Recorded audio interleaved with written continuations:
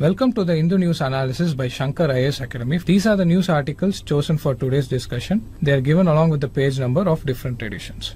Link for the handwritten notes in PDF format and the timestamping for the discussed articles are given in the description box as well as the comment section for the benefit of the mobile viewers. Now let us take the first past prelims question.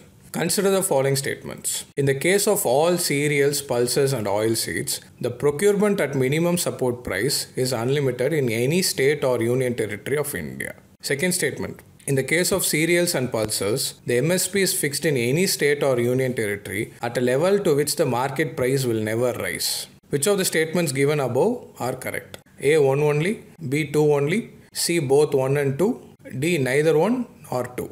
First, let us see about MSP. MSP stands for minimum support price. See, minimum support price is the price set by the government for certain agricultural products at which the products would directly be bought from the farmers if the open market prices are less than the cost incurred. See, MSP is a form of government intervention to ensure the farmers against a steep decline in the prices of their goods and help them prevent losses. The government of India sets the MSP twice a year. This is done by the government to protect the farmers against a fall in prices in a year of bumper production. When the market price falls below the declared MSP, the government would purchase the entire quantity from the farmers at MSP. The Commission for Agricultural Cost and Prices, CACP, decides the MSP taking into following factors. The entire structure of the economy of a particular commodity or group of commodities, cost of production, change in input prices, input output price parity, trends in market prices,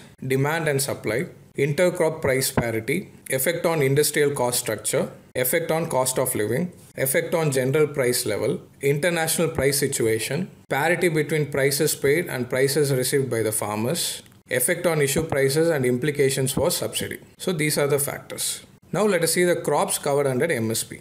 Cereals paddy, wheat, jowar, barley, bajra, ragi, maize. When it comes to pulses, arhar, gram, moong, lentil, urad are the cereals covered under MSP. Oil seeds, groundnut, mustard, soybean, sesame, Niger seeds, sunflower seeds are covered under MSP.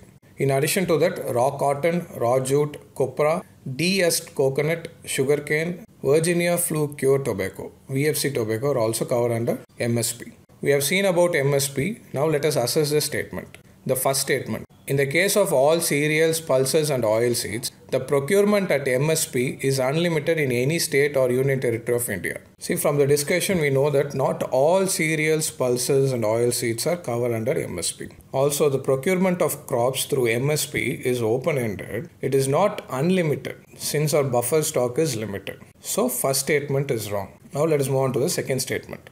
In the case of cereals and pulses, the MSP is fixed in any state or union territory at a level to which the market price will never rise. See, minimum support price is only an indicative price. The market price can rise way above or way below MSP given a situation. For example, market factors of supply and demand may create a scenario where market price of cereal or pulses may rise higher than MSP. Also, market players are not legally bound to keep their prices lower or higher than MSP. So, this statement is also wrong. The answer is D, neither one nor two. Now, let us move on to the next question.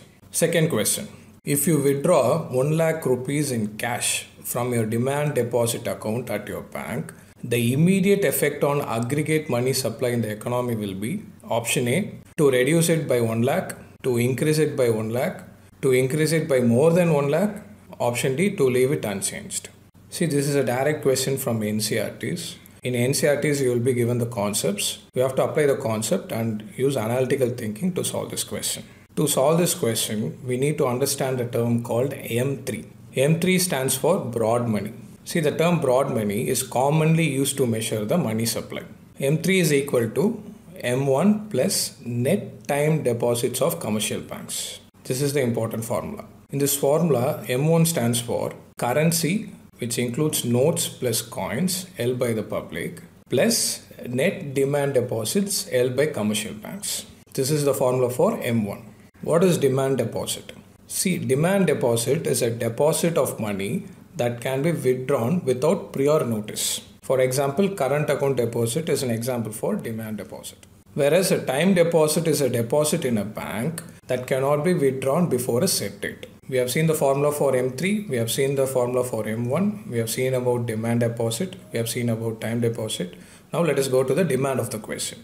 See, withdrawal of 1 lakh rupees in cash does not make any difference to the aggregate money supply. It will remain unchanged since the money supply includes both cash with public and demand deposits. So technically you are exchanging the money within the parameters of M3. We are withdrawing the money from demand deposits and we are giving to the currency held by the public. So finally the M3 remains unchanged. Let me explain this with an example. Imagine a house M3. In that house there are three people. One person is currency held by the public, another person is demand deposit, another person is time deposit. In this case, we are withdrawing money from a person called demand deposit and we are giving to the person called currency held by the public. Though the exchange take place between these two persons, the money inside the house M3 remains the same. That is the case which is followed here. So withdrawing of cash from demand deposit and putting it with the public makes no changes in M3 which is the aggregate money supply. So the answer is D to leave it unchanged. Now let us take up this article. In a recent study by NIMS, it has been highlighted that vitamin D concentration in the body plays an important role in COVID disease recovery. NIMS stands for Nizam Institute of Medical Sciences. See, according to this study, it was found that the mortality rate out of COVID was significantly higher when the patient was vitamin D deficient, whereas it was almost zero when vitamin D levels were over 16 nanograms per milliliter. According to the study, this is due to the immune modulatory functions of vitamin D. Now, in this context, let us look into vitamin and vitamin D. What is vitamin? See, the term vitamin is used to describe certain organic compounds that are needed by the body but that cannot be manufactured by the body. They mainly serve as catalysts for certain reactions in the body. The amount of vitamins required by the body are very small. Vitamins are mainly obtained from our foods. See, vitamins are classified based on solubility. They are either fat soluble or water soluble. Vitamins A, D, E, and K are fat soluble, whereas vitamin C and B are water soluble. So far, we saw about vitamins. Now, let us see about vitamin D in particular. See, vitamin D is also known as calciferol. It is a very important vitamin. The unique property of this vitamin is that body can synthesize this vitamin when we are exposing ourselves to sunlight. This is a very important point. Now let us look into some important functions of vitamin D. See the most important function of vitamin D is that it plays a crucial role in body's use of calcium and phosphorus. Children especially need adequate amounts of vitamin D to develop strong bones and healthy teeth. Also, vitamin D works by increasing the amount of calcium absorbed from the small intestine, helping to form and maintain bones. Vitamin D also plays an important role in immunity and controlling cell growth. So these are some of the important functions of vitamin D. Now let us see about food sources of vitamin D. The primary source of vitamin D are milk and dairy products which are fortified with vitamin D. Vitamin D is also found in oily fish, for example sardines and salmons. It is also found in cod liver oil. In addition to the food, vitamin D can be obtained through our skin which produces vitamin D in response to sunlight. So so far we have seen about vitamin, vitamin D, its functions and sources. Now let us see about deficiency of vitamin D. See, deficiency of vitamin D in growing children causes rickets. It also causes flattening of the back of the skull. Vitamin D deficiency in adults may result in a condition called osteomalacia and osteoporosis. Osteomalacia stands for muscle and bone weakness, whereas osteoporosis is known for loss of bone mass. In addition to that, vitamin D deficiency has been associated with increased risk of cancer, autoimmune disease, hypertension, and infectious disease. See, a recently published data introduces a concern that some adults and children may be more prone to developing vitamin D deficiency due to increased use of sunscreen. See, sunscreen blocks the sunlight. We know that sunlight plays an important role in vitamin D synthesis. So, by blocking the sunlight through sunscreen, we are minimizing the production of vitamin D. In addition to that, we live in inner cities and we wear clothes that cover most of our skin, which will also affect vitamin D production. Also, people who are living in northern climates where there is little sun are also more prone to vitamin D deficiency. See, most of our foods are very low in vitamin D. So, a deficiency may develop with inadequate exposure to sunlight. How can we overcome vitamin D deficiency? We can overcome vitamin D deficiency by adding fortified foods to the diet such as milk. We can also include uh, vitamin D supplements in our diet so that we can overcome vitamin D deficiency. With this, we have come to the end of the discussion. In this discussion, we saw about vitamin, vitamin D, significance of vitamin D, sources of vitamin D, vitamin D deficiency, and how to overcome it. Now, let us move on to the next article. Now, let us take up this article. It is about elephant corridors. So, let us learn about elephant corridors. The syllabus relevant to this article is displayed on the screen. Aspirants can go through it. See, the rising demand for land has led to the degradation and fragmentation of countries' forest cover. Elephant habitats are a casualty of this destruction. See, Asian elephants travel between habitats by following traditional migratory routes. But over the past few decades, new infrastructure projects has cut across these corridors. In addition to that, village expansion has also affected these elephant corridors. So elephant corridors have started to disappear. This has led to more human elephant conflicts. We can see a lot of incidents where elephants are ruining crops, destroying homes, and causing tragic accidents because of the disappearance of elephant corridors. So, in order to overcome these hurdles, WTI, Wildlife Trust of India, has joined hands with international partners to improve the elephant habitats and corridors. It is also planning to conduct survey of elephant corridors. First, let us know what is an elephant corridor. See, an elephant corridor is nothing but narrow strips of land that connect two large habitats of elephants. Elephant corridors are crucial elements to reduce animal fatalities due to accidents and other reasons. The movement of elephants through elephant corridors helps in enhancing the species and it also helps in enhancing survival and birth rate. These corridors are not only used by elephants but it is also used by other important wildlife species.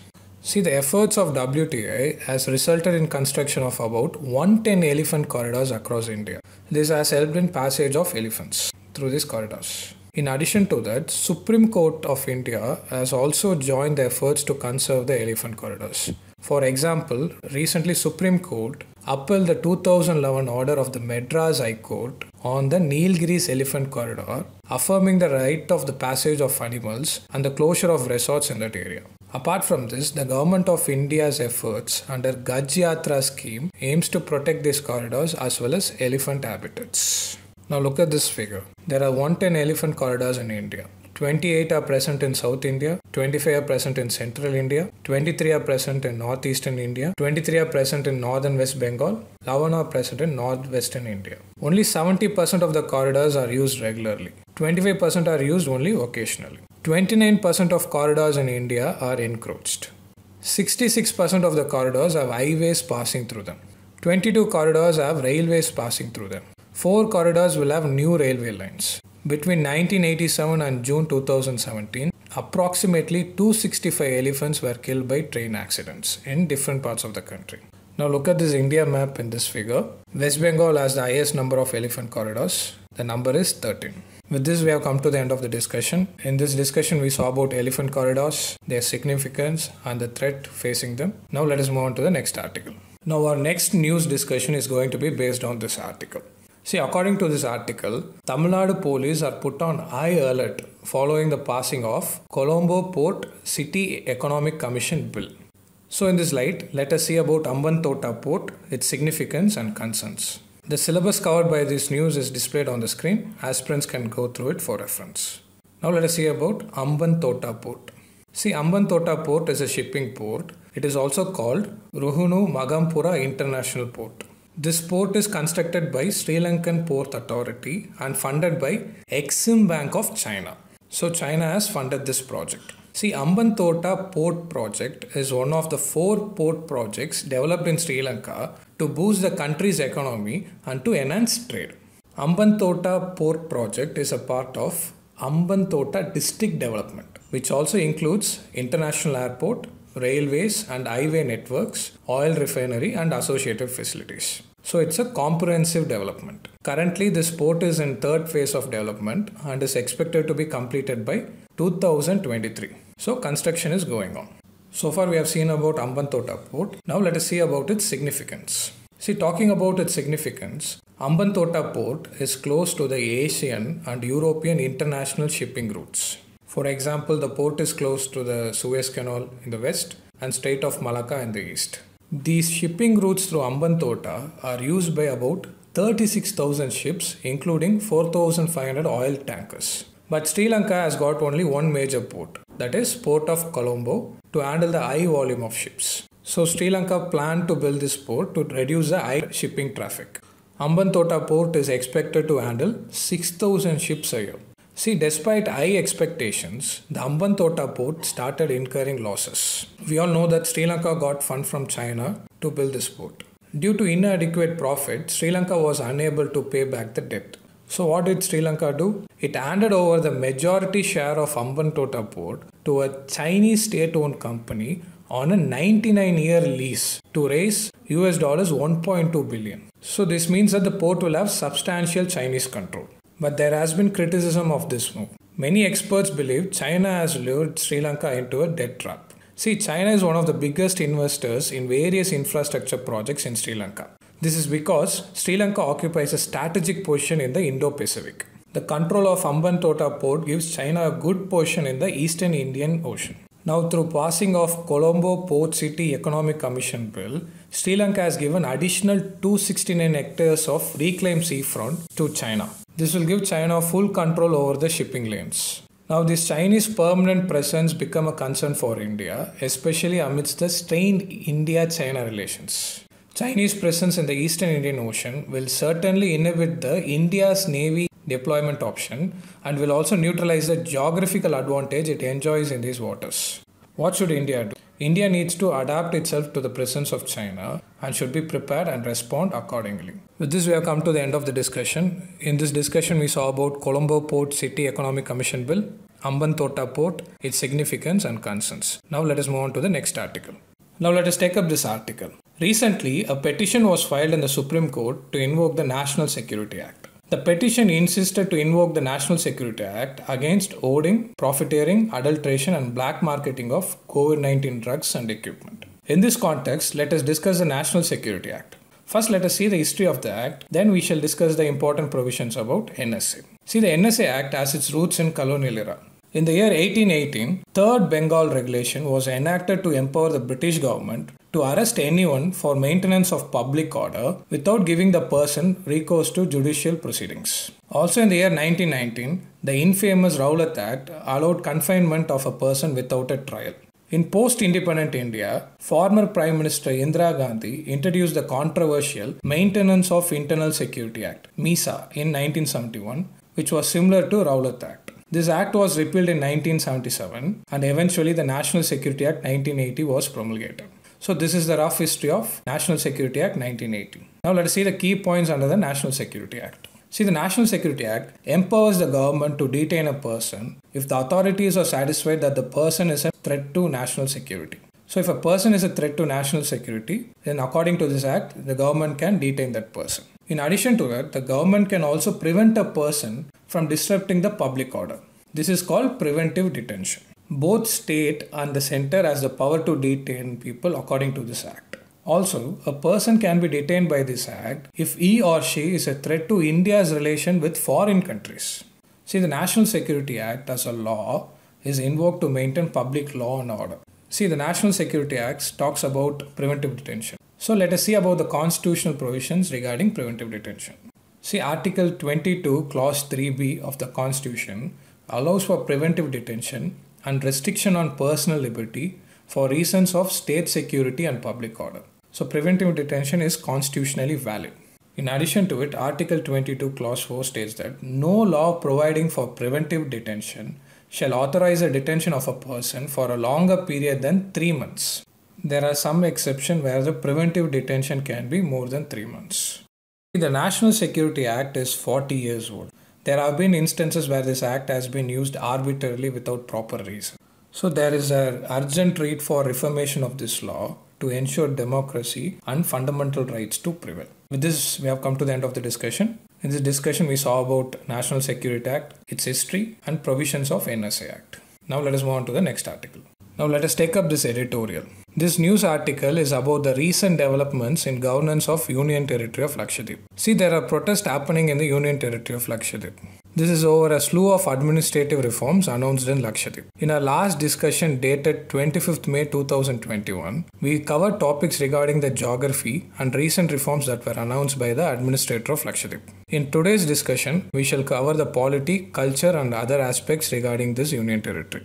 The syllabus relevant to this article is displayed on the screen. Aspirants can go through it. First, let us discuss the appointment of administrator from the polity perspective. See, union territories are under the direct control of the president. This grants the center huge power to govern these union territories. See, Lakshadweep has no legislature, and all powers to govern it are deposited with the administrator. The power of the administrator comes from Article 240b of the Constitution. As per this article, the President is empowered to promulgate regulations for peace, progress, and good governance in Union territories, including Lakshadweep. These regulations have the force of an act of Parliament. So the President acts to the administrator in Lakshadweep, and the administrator is the government of the Union territory. See, last year the central government appointed Praful Patel as the administrator of Lakshadweep. This is considered a political act by many as the center drifted away from the tradition of making an IAS officer as the administrator of the Union territory. Instead, the ruling party at the center appointed one of its party leader as the administrator instead of an IAS officer. Recently, Praful Patel recommended various regulations which have not been received well by the inhabitants of luxury Islands. As a result of this, people and opposition have protested against these regulations. The recent reforms are Lakshadweep Animal Preservation Regulation, Prevention of Anti-Social Activities Regulations, Lakshadweep Panchayat Regulation, Lakshadweep Development Authority Regulation. These are some of the regulations announced by Praful Patel. We have already discussed these reforms in a previous session dated 25th May 2021. Aspirants can go through that video for better understanding. Now let us come back to the editorial. See, according to the editorial, such executive actions by the administrator is capable of changing the social, cultural, environmental, and economic landscape of the entire Union territory.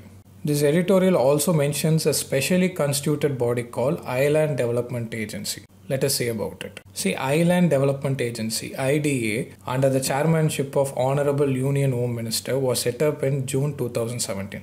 This agency oversees the comprehensive development of islands in the country. In addition to it, valuable recommendations are being made by IDA. These recommendations have helped significantly in planning and implementing suitable intervention effectively for islanders' benefits. After discussing about IDA, the editorial highlights the cultural diversity, environmental, and other aspects of the island. First, let us see about cultural aspects. See, the language spoken in Lakshadweep is Malayalam, except in few places like Minicoy, where the language called Mahl is spoken. When it comes to the society, Lakshadweep Islands follows matriarchal setup. When it comes to religion, Lakshadweep Islands follow Islam of the pristine Shafi school of law.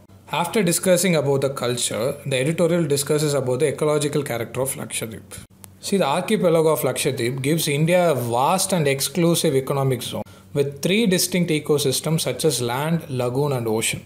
Fishery is a primary occupation here. See, the author himself, being a former administrator of the island, shares the experience in administration by mentioning about the Island Development Authority, which was constituted in 1988. Accordingly, deliberation of this authority wanted Lakshadweep to be open to international tourism, not as a means of generating wealth for investors from the mainland, but to bring prosperity to the islanders. Adding to it, the author says that the plan for Lakshadweep required it to be people centric and enrich the fragile coral ecology. See, the editorial rejects the Maldives model as a reference for development of Lakshadweep Island. According to the editorial, it lists the issues and need of the hour, such as need to develop policies for enhancing employment opportunities, environment friendly management of fisheries, sanitation, waste disposal, and widening access to drinking water. Also, the youth, having acquired a modern education, are preferring salaried jobs over pursuing traditional occupations. In addition to it, revenue from tourism has declined with the closure of resorts from litigations. So, according to the author of the editorial, these are the areas where the governments need to focus to find solutions to it. Unfortunately, none of these areas requires any of the measures announced by the administrator.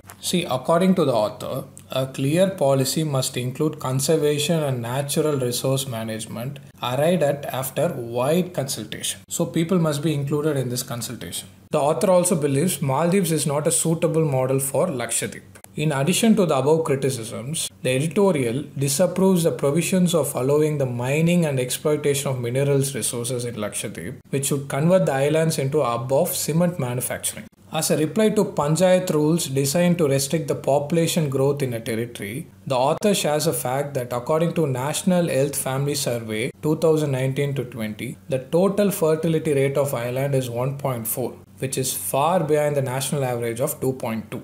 In addition to the above, the author finally highlights the facilities and the result of developmental administration in Lakshadweep as a reply to the claim that there has been no development in Lakshadweep for the past 70 years. See, Lakshadweep today has rainwater harvesting facilities that was first introduced in government buildings on every island and it is now accessible in every home. So it has been developing for the past 70 years. Also, solar power covers 10% of lighting needs in the islands that makes Lakshadweep a pioneer in India's present flagship initiatives. In addition to that, all islands of the Lakshadweeps have been connected by helicopter service since 1986. In addition to the above, a study by the National Institute of Oceanography found practical applications, thereby helping a redesign of the tripods, reinforcing the beaches against sea erosion. This has also helped in ensuring piped water supply, especially designed to draw from freshwater lens. See, the island's total literacy is 91.85, which is higher than national average. Also, Minicoy had among the country's first Navodaya Vidyalayas. When we are talking about poverty level, Lakshadweep has no poor people according to World Bank's poverty threshold. So, in conclusion, the author says that instead of intending to develop Lakshadweep like neighboring Maldives, a plan for Lakshadweep is required to be people centric and enrich the fragile coral ecology. With this, we have come to the end of the discussion of the article. Now, let us move on to practice prelims question. Practice prelims question. First question. With reference to elephant corridor, consider the following statements. They are exclusively used by elephants to go between habitats. Second statement India has over 100 elephant corridors. Which of the statements given above are correct? A 1 only, B 2 only, C both 1 and 2, D neither 1 nor 2. See, as we saw in the discussion, the elephant corridors are also used by other wildlife. So, statement 1 is incorrect. Now, let us go to the assessment of second statement. See, India has about 110 elephant corridors. So, it is over 100 elephant corridors. This statement is correct. So, the answer is option B, 2 only. Now, let us move on to the second question. With reference to vitamin D, consider the following statements. First statement, it is a fat soluble vitamin. Second statement, deficiency of vitamin D can cause rickets in adults. Which of the statements given above are not correct? See, it is not correct. Option A 1 only, option B 2 only, option C both 1 and 2, option D neither 1 nor 2. See, as we saw in the discussion, vitamin A, E, D, and K are fat soluble vitamins. So, first statement is correct. Now, let us move on to the second statement. See, vitamin D causes rickets, but rickets are caused in children, not in adults. So, second statement is wrong. Since the question demands not correct statements, the answer is option B, 2 only. Now let us move on to the third question. Consider the following statements regarding the National Security Act 1980. First statement. It powers only the central government to detain a person and state government has no such power. Second statement. Preventive detention is not dealt under the National Security Act. Which of the following statements given are correct? Option A 1 only, option B 2 only, option C both 1 and 2, option D neither 1 nor 2. See, as discussed in the article, both the center and the state have the power to detain under National Security Act. So the first statement is incorrect. Now let us assess the second statement. See, the National Security Act can also prevent a person from disrupting public order. This is called as preventive detention. So this statement is also incorrect. So the answer is D, neither one nor two. Mains practice questions are displayed here. You can write your answer and post in the comment section below. With this, we have come to the end of the news analysis. If you like the video, click like, comment, and subscribe. Thank you.